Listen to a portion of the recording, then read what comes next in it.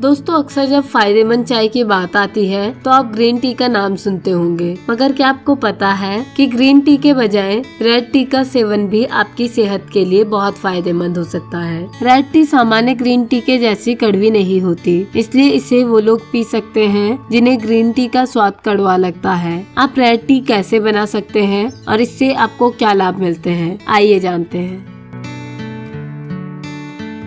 Red T बनाने के लिए अनार के ताजे दानों का प्रयोग किया जाता है। अनार सेहत के लिए फ़ायदेमंद होता है, ये आप भी जानते होंगे। मगर इसकी चाय भी सेहत के लिए बहुत फ़ायदेमंद होती है। अनार में मुख्य रूप से vitamin A C E folic acid और एंटीऑक्सीडेंट पाए जाते हैं। अनार रक्त में आयरन की कमी को दूर करता है और एनीमिया जैसी बीमारियों से छुटकारा दिलाता है।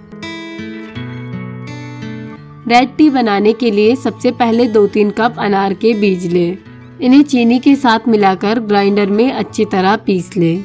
अब इस पेस्ट को किसी जार में भरकर फ्रिज में रख दें, ताकि इसका बाद में भी इस्तेमाल कर सकें।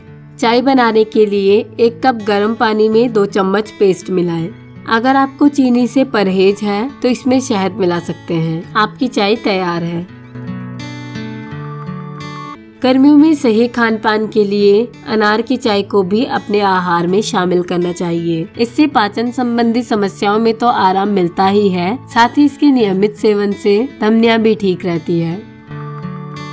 गर्भवती महिलाएँ जो अनार के चाय का सेवन करती हैं, उनका बच्चा हेल्दी और स्वस्थ होता है। अनार में ऐसे गुण हैं जो कैंसर से शरीर को बचाते हैं। खास तौर पर ब्रेस्ट, प्रोस्टेट और फेफड़ों के कैंसर में अनार की चाय का सेवन करने से बहुत फ़ायदा मिलता है।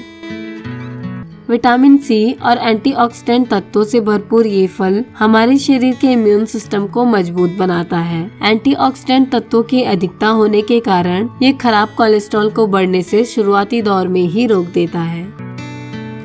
इसमें फॉलिक एसिड भी होता है, जिससे उच्च रक्तचाप और एनीमिया का खतरा कम होता है हीमोग्लोबिन की कमी में अनार का सेवन अच्छा माना जाता है, मगर डायबिटीज़ के रोगी इसे ना लें।